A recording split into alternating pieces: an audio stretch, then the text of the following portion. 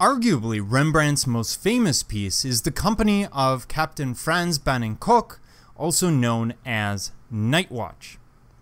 Now, the painting initially hung with several other huge group portraits, giving visitors to the troop's inner sanctum the sense of being surrounded by local muscle.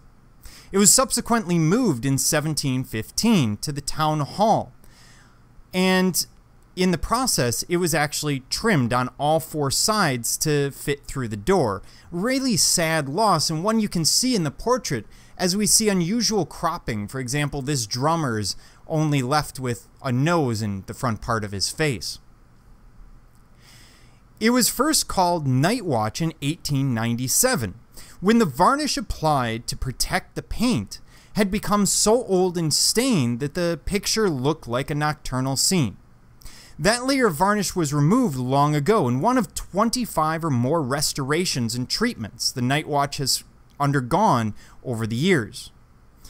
The most memorable being in 1975, after a visitor to the museum attacked the painting with a knife, causing severe damage, traces of which you can see when you zoom in on the new composite photographs that are now available through various museums.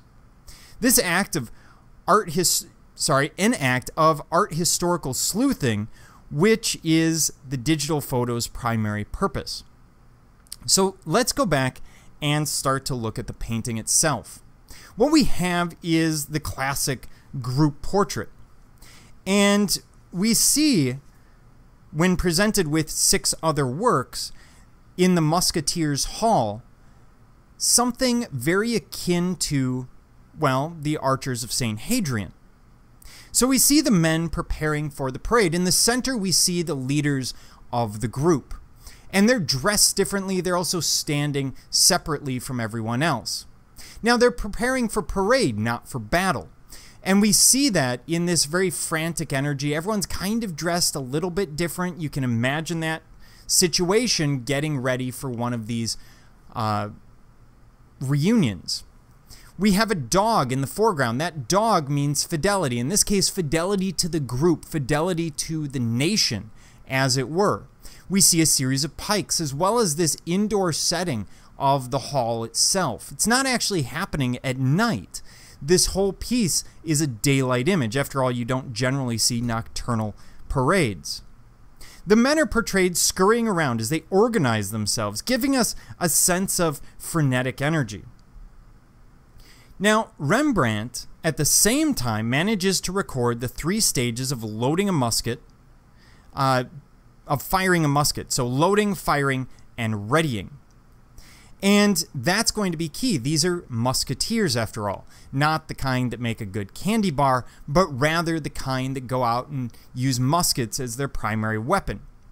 And so, as we look at it, we will see that we see loading, readying, and awkwardly firing. And you question that firing? Nope, he really is. Firing into, looks like the back of the hat of one of the leaders. But you can see the smoke and flame coming out of the musket. Now, obviously, Rembrandt is not suggesting that they go and shoot one of their leaders.